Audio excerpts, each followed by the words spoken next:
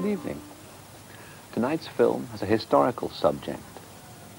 It's an epic spanning an entire continent.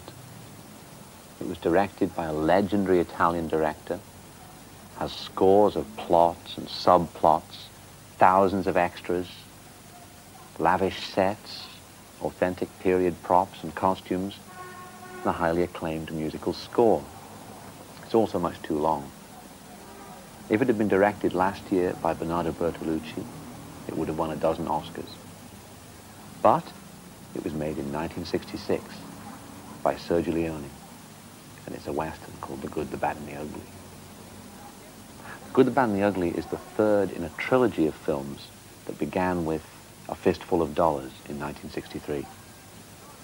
All the Italians that made that film were so nervous at that time about making a spaghetti western, because it was one of the first, that they all masqueraded behind American pseudonyms.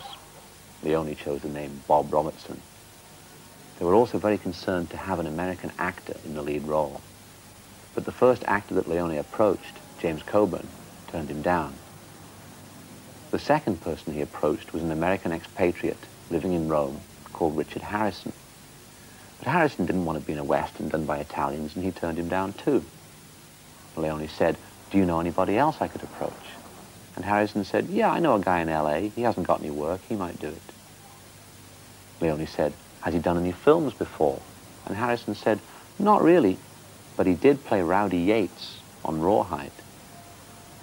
The actor's name was Clint Eastwood, and the rest is history.